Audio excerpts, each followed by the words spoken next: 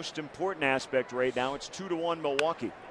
Casey McGehee base hit left field, three to one Milwaukee.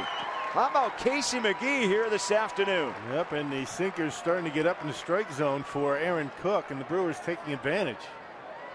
And three consecutive base hits, all hit very hard. Check it out, sinker up in the zone, and Casey able to pull the hands in and get enough of it to line it into left field.